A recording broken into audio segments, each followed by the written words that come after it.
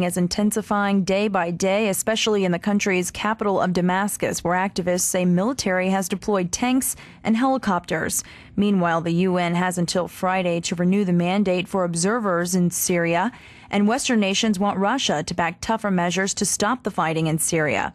But Russia appears resistant to Western calls for the country to increase pressure on Bashar al Assad of Syria. This week, United Nations envoy Kofi Annan will be in Moscow to promote his peace plan for Syria and will meet with President Vladimir Putin today. We're talking more about the violence there with Dr. Hisham Ahmed. He's professor of politics at St. Mary's College of California, and he joins me on the line from Palestine. Dr. Hisham Ahmed, welcome.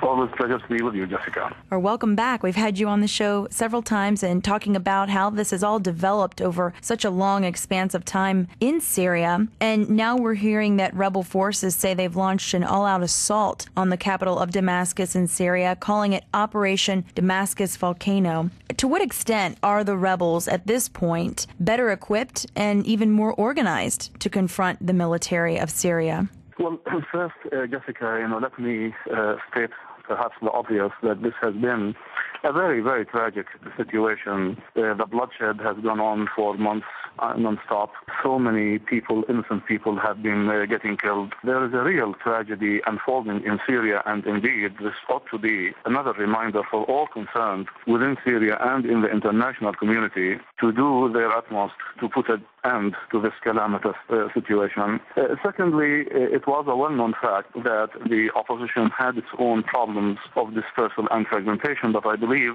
with time they have been able to muster more organization and more support from within and outside of Syria. Therefore, I believe that their ability to effectuate some change is becoming uh, more obvious uh, by the day. In the process, however, the government of Syria, the regime, is becoming, of course, more entrenched in its attempt to quell the rebellion and to try to drive wedges within the opposition forces, both militarily and uh, politically. Unfortunately, the ones who are caught in the middle are the simple, average, uh, innocent Syrians. Almost every week, we hear about a massacre, a slaughter here and a slaughter there.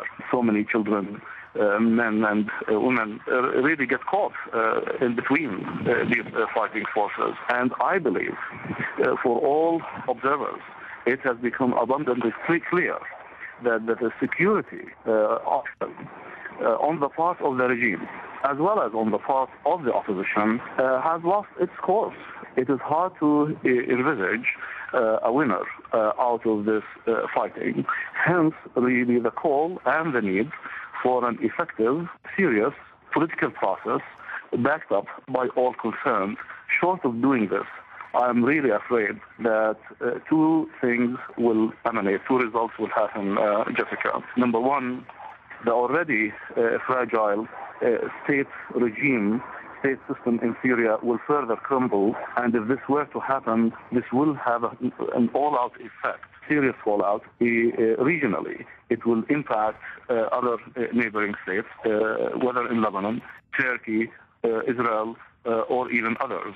That is, a dismantled Syrian system could really result in uh, anarchy, could result in chaos. Uh, nobody can guarantee then uh, what could happen to the components of power, where would they go, who would acquire them, and so on and so forth. So that would be the first result.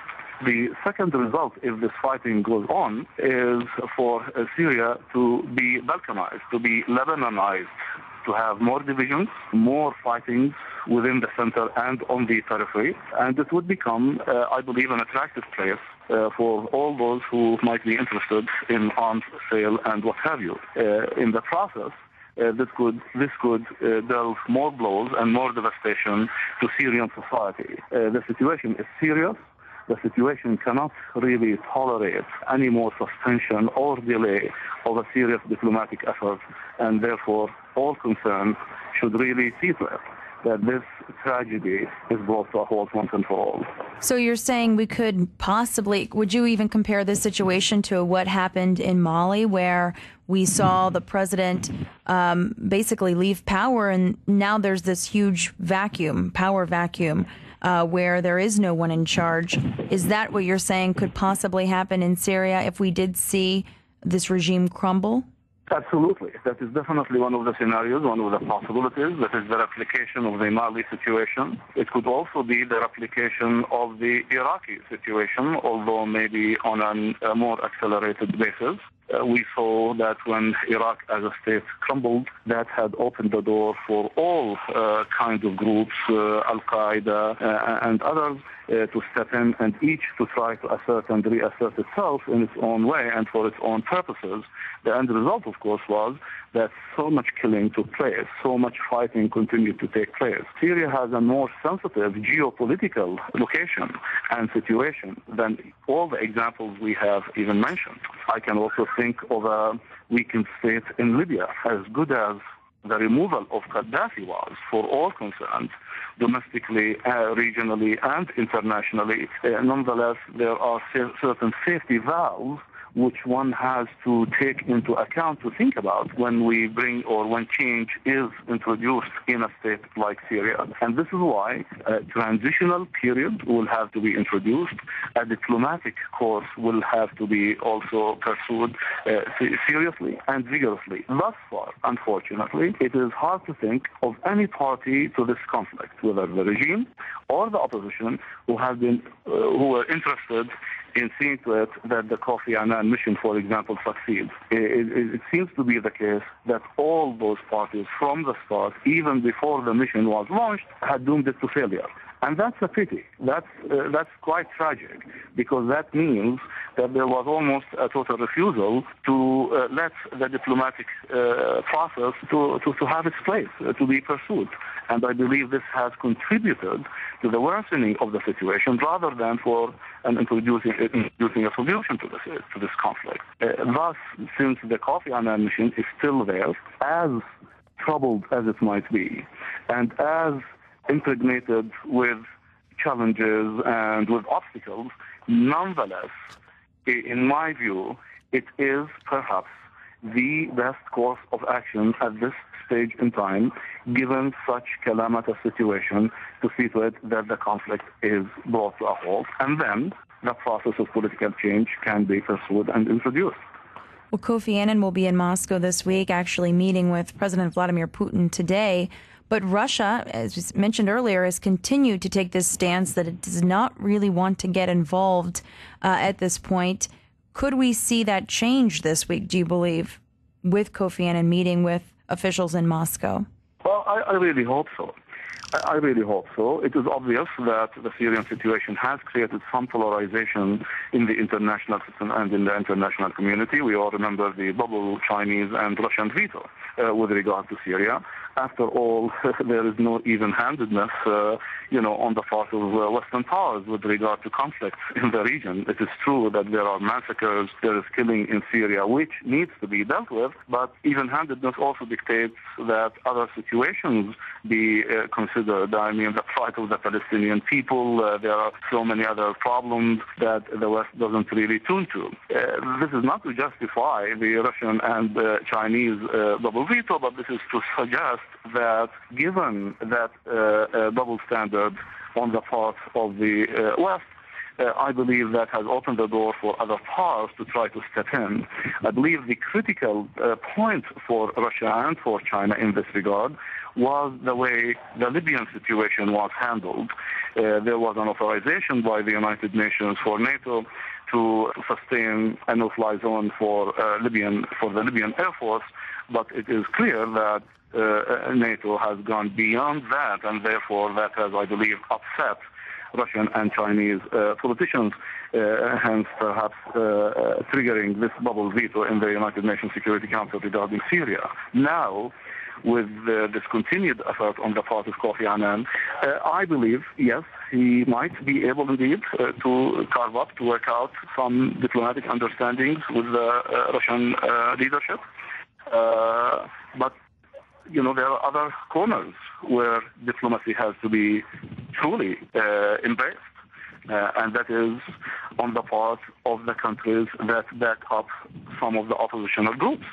And here I'm referring to some regional powers in the Arab world, uh, Saudi Arabia, Qatar, and so on and so forth, and internationally, that is the French, the United States, and the British. There has to be some room allowed for serious diplomacy.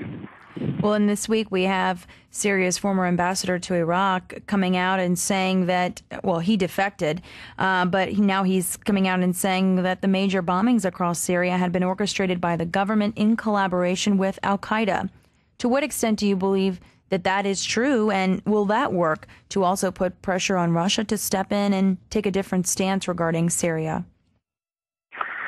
Well, the defection, of course, on the part of the Syrian ambassador in, in Baghdad is understandable. I mean, after all, you know, there is so much anger, there is so much there, there is so much frustration with the killing that is taking place, and uh, yes, it is to be expected that more defections uh, would take place within, you know, the political circles and within the military.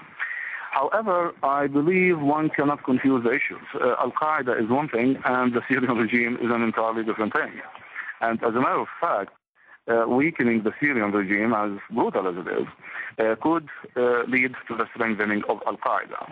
Uh, Al Qaeda is the kind of organization that thrives, that um, uh, re, uh, in a way strengthens itself and its strength when there is anarchy and chaos.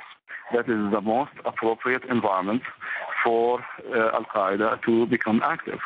And I think we did see an interesting correlation. When the state system in Iraq was weakened, Iraq was the only country in the Arab world that had no uh, basis whatsoever for Al Qaeda. Uh, but with the weakening of the state system in Iraq, Al Qaeda managed to step in and rather to turn Iraq into, uh, you know, some of its headquarters and hotbeds. I do see a similar situation developing in Syria if we end up with more anarchy and chaos. So as a matter of fact, while I do understand the defection, and while I think it is uh, perfectly sound, but uh, one cannot confuse the issue and consider the Syrian regime and Al Qaeda to be operating on the same wavelength. These are completely two different uh, political forces that are diametrically opposed to each other.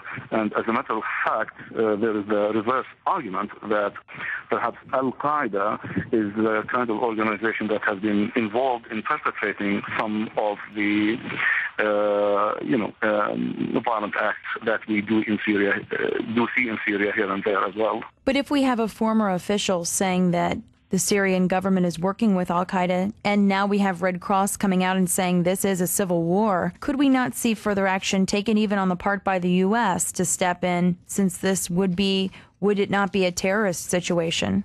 You're absolutely, absolutely correct. what I should also mention, you know, that Al Qaeda has become a rallying point for everybody, so to speak. That is, whenever uh, any party wants to see support being built up in uh, backing its own agenda, uh, it has to suggest that Al Qaeda is working with its adversary. Interestingly enough, uh, the Syrian regime itself also came out repeatedly and said that many of the acts of violence in Damascus and around Damascus were carried out by Al Qaeda operatives, and actually uh, uh, some US, US officials have, on more than one occasion, kind of confirmed that there is a good degree of accuracy uh, to this assessment that Al Qaeda was involved in these acts of violence. Now we do see the reverse.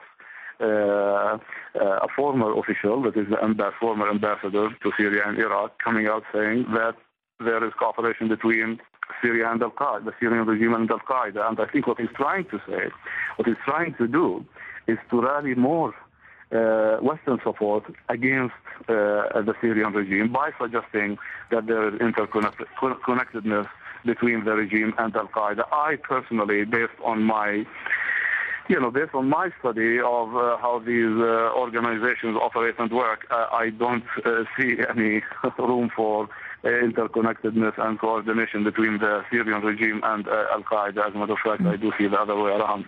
We've been speaking with Dr. Hisham Ahmed. Really appreciate you joining me, Dr. Ahmed. Uh, Dr. Ahmed's a professor of politics at St. Mary's College of California, and he joins me on the line from Palestine. We've been talking about the ongoing fighting and violence in Syria that is intensifying day by day. Dr. Hisham Ahmed, thanks so much. Always a pleasure indeed, Jessica.